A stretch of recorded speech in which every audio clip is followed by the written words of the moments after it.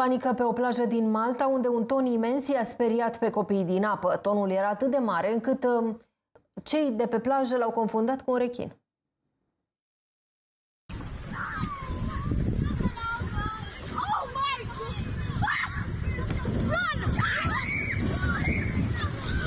Acesta este momentul în care un exemplar mare de ton a pătruns foarte aproape de malul plajei Gadira Bay din Malta. Peștele a stârnit panică în rândul copiilor care au crezut că este vorba de un rechin. În cele din urmă, unul dintre adulți a observat că de fapt este vorba de un ton și le-a zis oamenilor că nu există motiv de panică.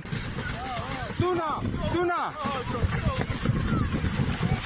Peștele a devenit agitat după ce a pătruns în apele de mică adâncime, unde a fost pe punctul de a rămâne blocat. În cele din urmă, tonul a pătruns într-o zonă pietroasă a țărmului, unde și-a găsit sfârșitul.